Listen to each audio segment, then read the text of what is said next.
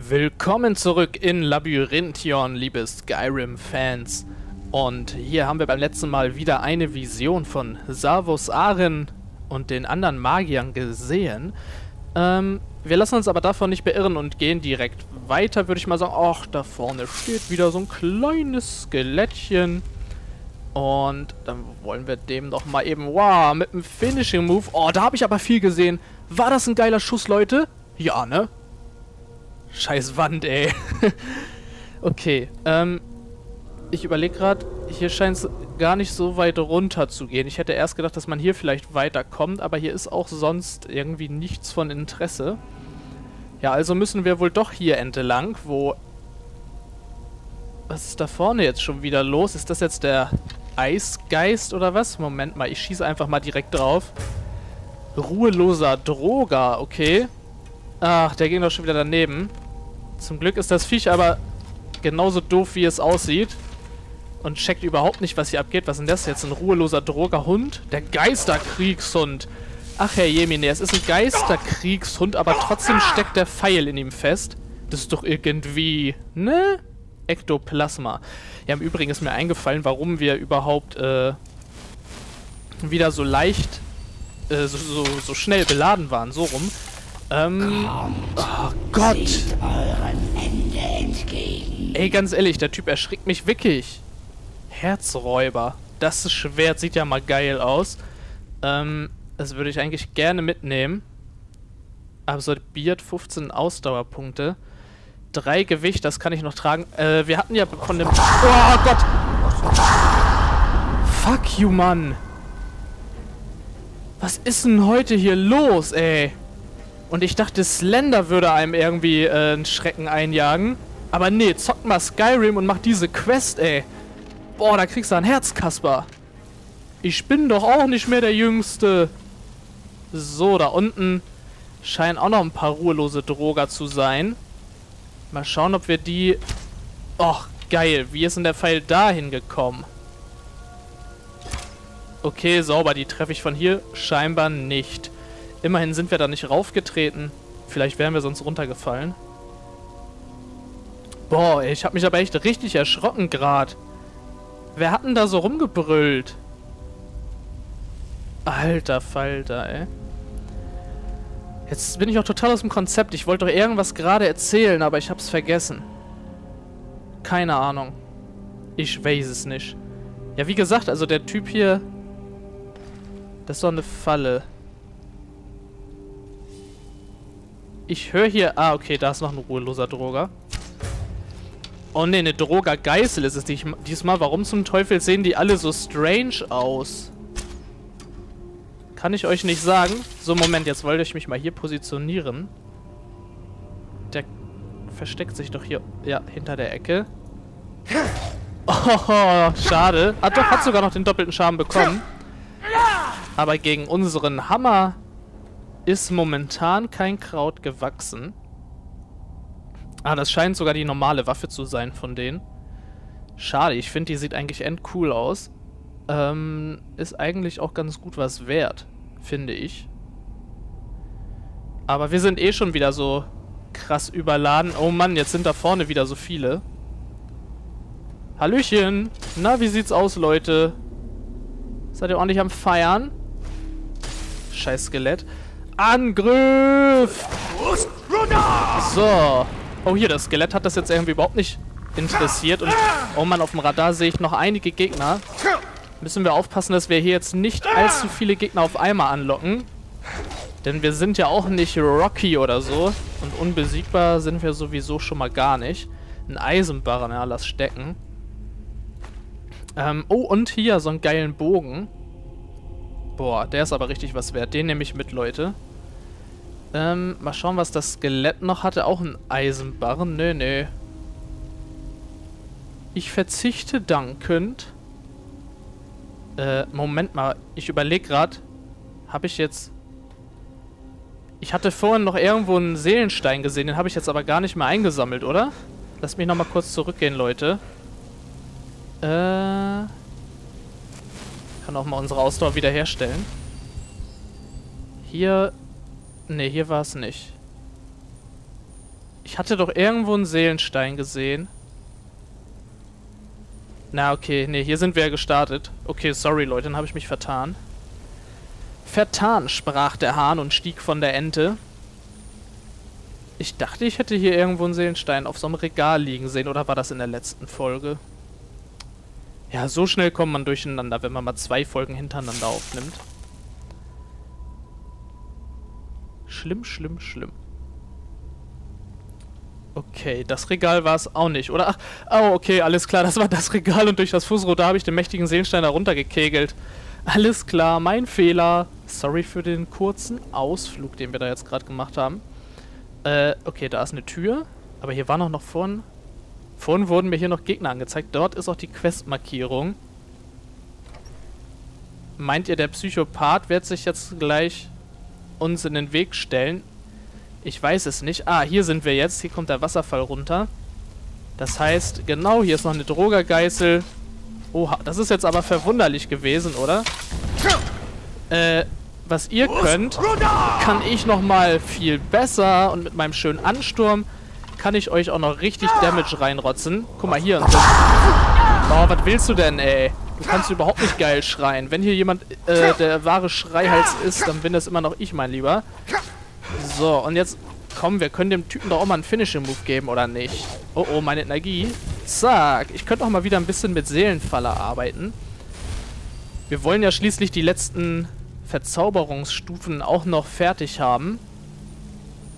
Ähm, Skelett. Ne, nur den Nordbogen.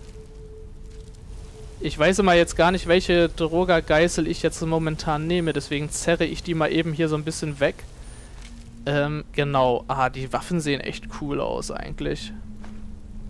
Und ein Stahlpfeil. Aber meine Waffe hier, wo ist sie? Herzräuber, kann ich dann eigentlich auch hier lassen. Sieht zwar eigentlich ganz toll aus, aber gut, wenn die nicht einzigartig ist, dann will ich die auch nicht haben. Ich bin halt ein wahrer Sammler, Leute. Und so ein nutzloser Plunder, den jeder Idiot finden kann, kommt mir nicht ins Haus. So, hier geht's in die Tribüne von Labyrinthion. Da gehen wir doch mal direkt rein und bestimmt sehen wir dann hier gleich wieder den Zauberrat, die Visionen des Zauberrats und dann werden wir bestimmt auch wissen, was Savos Aren und die anderen hier drin machen wollten. Hm, okay. Momentan scheinbar doch noch nicht. Und es ist hier mal wieder arg ruhig. So, was ist mit den Leuten hier? Tot oder nur am Chillen? Das ist hier die Frage. Ah, okay, da hinten ist auf jeden Fall schon mal ein Gegner. Oh, das war nur ein normaler Droger. Und die, dieser blöde Wachhund hier wieder. Äh, Moment, kann ich eigentlich auf den die Seelenfalle werken? Okay, klappt sogar. Sehr schön. Das heißt, wir sollten ein bisschen wieder mit Seelenfallen arbeiten. Damit wir ein paar Sachen verzaubern können, Leute. Okay. Oh, ist ja süß, wie du schreien kannst. Denkst du, du bist toll? Denkst du wirklich, du bist toll? Weißt du, was toll ist? Sowas ist toll, wenn die Gegner so durch die Lüfte fliegen. Dann kannst du auch irgendwie sagen, ey, ich bin's, ich bin voller Pro, ey. Ganzen Gegner mache ich richtig kalt. Gewöhnlicher Seelstein. Sehr schön. So. Dem anderen Droger da hinten. Ah, ich könnte meine Ausdauer mal eben schnell aufladen. Den anderen Droger auch nochmal plündern. Auch ein bisschen Gold. Warum eigentlich nicht? Gold kann man schließlich immer gebrauchen, oder Leute? Wie seht ihr das? Hier ist noch ein Buch und zwar beständiger Schutz. Mal schauen, wofür wir das brauchen. 50 Gold und ein Zaubertrank der kleinen Heilung. Ich würde mal sagen, Quick Save. Äh, denn ich habe so ein bisschen das Gefühl, dass mich jetzt hier irgendwas erwartet, was vielleicht nicht ganz so lustig ist. Boah. Wer war das? Hä? Wer war das? Lösung der andauernden Regeneration. Das nehmen wir mal mit. Magiker, Magieresistenz, Eisenbarren, scheiß drauf. War das der Seelenstein hier? Sag mal. Ich glaub's geht los, da. Die scheiß Seelensteine werden hier voll aggro gegen mich. Wow. Was zur Hölle? Boah, was zur Hölle? Wieso hasst ihr mich so? Ich habe euch nichts getan. Ich habe das Gefühl, mein Überlebenszauber... Oh! Winziger Seelenstein. Werden alle mitgenommen. Schießt immer noch. Ich hätte gedacht, dass das jetzt vielleicht nicht mehr schießen kann. Jetzt kommen da auch noch Gegner, oder was? Ah! Wie machen wir denn das jetzt, Leute? Alter, das gibt's doch nicht. Moment, ich habe eine Idee. Ja, schieß ruhig hinter mir her. Interessiert mich nicht. Wenn ich den Seelenstein da runterschieße... Vielleicht kann er dann nicht mehr zaubern. Vielleicht verliert er dann seine magischen Eigenschaften. Da der eine macht noch Faxen. Ich sehe den jetzt auch gerade relativ schlecht. Ein bisschen ranzoomen vielleicht. So. Ah, jetzt kommen da schon wieder diese scheiß Wachhunde angelatscht. So, Geisterkriegshund. Guck mal, was ich für dich... Auha! Da scheint eine Falle gewesen zu sein. Okay, damit sind alle Seelensteine von ihrer Position runter. Und so wie es aussieht, hat es wirklich was gebracht. Okay, wir können hier... Oh, Stahlpfeil nehme ich gerne mit. Wir können hier jetzt unbescholten durchlatschen. Da oben waren... Leute, da oben sind Gegner. Okay, wir nehmen trotzdem erstmal die Seelensteine mit. Und mal gucken, was jetzt hier links gleich schon wieder für Gegner sind. Ich schleiche jetzt hier echt so ein bisschen lang. Ich habe ein bisschen Respekt gerade hier vor dieser Verteidigungsanlage, muss ich ja mal gestehen. Ey, hin, was? Hä? Ich bin gerade verwehrt. Ich habe von links gehört, dass links irgendwo ein Gegner ist. Ja, schieß doch hier rein. Bist du total verblödet? Oh. Scheiße. Frostatronarch ist wahrscheinlich mal wieder nur ein beschworenes Viech. War ja klar. So, guck mal hier. Da kannst du mal ein bisschen dir die Gegend anschauen. Ist das jetzt wieder... Nee, da oben sind auch irgendwo zwei Gegner. So, oh. Moment. So. Der macht irgendwie wenig Schaden. Da kann man sich das erlauben, mitten im Kampf mal eben die Seelenfalle zu wirken. Der wird komplett gelootet. Die anderen scheinen oben zu sein, oder? Ich gehe mal eben nach oben, Leute. Sieht so aus für mich, als ob die oben am Abchillen wären. Jo. Äh, guckt mal, Leute. Ich habe euch was mitgebracht. Ein ordentliches Fuss Rodar. Äh, okay. Die waren schnell überzeugt, sich äh, zu ergeben, in Anführungsstrichen. Die haben wir gut fertig gemacht. So, Musik beruhigt dich wieder. Die Gefahr ist gebannt. Hier ist auch alles easy. Oh, eine Truhe. Wenn ich die jetzt übersehen hätte, Mann, Mann, Mann, alles mitnehmen direkt. Und wir gehen erstmal weiter nach oben. Ich glaube, hier geht es nicht mehr weiter, genau. Aber wie ihr seht, lohnt es sich, denn hier ist noch eine nächste Truhe mit ein bisschen Gold drin. Okay. So, damit wäre diese Location auch gelootet und wir jumpen einfach mal hier runter. So. Ja, wahrscheinlich war das so vorgesehen. Oh, hier liegt noch ein Skelett. Oh, den Typen hat es hier scheinbar zerquetscht, als die Dingens runtergefallen sind, die Steine. Und sonst ist hier aber nichts drin, oder? Golderz. Na komm, das können wir mitnehmen. Kostet ja nichts. Im Gegenteil, bringt uns sogar noch Geld ein, wenn wir es verkaufen. so. Na, was willst du mir jetzt wieder erzählen? Kommt nichts? Klaust du mir nur das Mana? Du bist aber ein Schwächling. Äh, obwohl, das sage ich lieber nicht zu laut. Ich mache hier mal lieber einen Quicksave hin. So, hier ist scheinbar jemand verhungert. Ein Ebenerzdolch hat er in der Brust stecken. Und dann ziehen wir den raus und dieser Dolch hat das ganze Skelett zusammengehalten, Leute. Tja. Könnt ihr mal sehen, das war halt ein tragender Dolch. Oh, Okay, da müssen wir aber scheinbar nicht mehr so viel bewegen, um dieses Schloss hier zu öffnen. Das gefällt mir. Oh, ein Schwert im Feuer. Auch interessant. Und Leute, ich traue diesem Skelett. Ja, schlag einfach in die Luft. So was nennt man Schatten. Hm, keine Ahnung.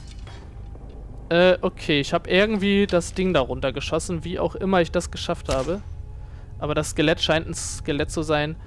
Drogerhelm der Unverbrannten. Wow, zeig mal her den Dingens. Bekleidung. Ähm, da ist er. Steigert die Feuerresistenz um 40. Das Teil sieht aber ganz, ganz nice aus, wa? Obwohl, das ist ein normaler Eisenhelm. Obwohl, nee, nicht ein ganz normaler Eisenhelm, aber... Hm. Na gut. Schön, das Teil mitzuhaben. Und der gewetzte alte Nord-2-Händer der sengenden Hitze. Zack, du trägst zu viel und kannst nicht rennen. Kann ich gleich schon, wenn ich auf Bekleidung gehe und einfach mal die goldene Halskette umlege. Haha. So, bei Waffen, zeig mal her das Ding. Da ist er. Steckt das Ziel für 15 Schadenspunkte in Brand. Brennende Ziele erleiden zusätzlichen Schaden. Äh, ist jetzt eigentlich nicht so toll, die Waffe, wenn man die mal so sieht von der Dingens her. Äh, okay, ich habe nichts gesagt. Was hat das Ding denn für einen Schaden? 71? Warte mal, wie viel hatten unser Dingens nochmal gehabt? 98. Ah, klar, weil wir da reingeskillt haben, haben die jetzt so krasse Schadenswerte. Oh, ich dachte gerade schon, ey, das wäre ein richtig kranker Gegenstand, aber okay, wenn der auch 98 hat, dann geht das ja. Unser Bogen mit 29 stinkt richtig ab, aber da haben wir auch nicht reingeskillt. Ähm, das Ding lasse ich hier, Leute, weil die Verzauberung haben wir schon und so richtig viel wert ist das Ding eigentlich nicht. Und dann machen wir uns direkt weiter auf den Weg. Ich glaube, wir kommen diesem Freak immer näher, Leute. Allerdings mache ich hier an dieser Stelle erstmal einen Cut. Die Viertelstunde ist schon wieder ein bisschen überschritten. Vielen Dank, dass du zugeschaut hast. Wir sehen uns beim nächsten Mal wieder, wenn du magst. Ich würde mich freuen. Bis dahin, hauste rein.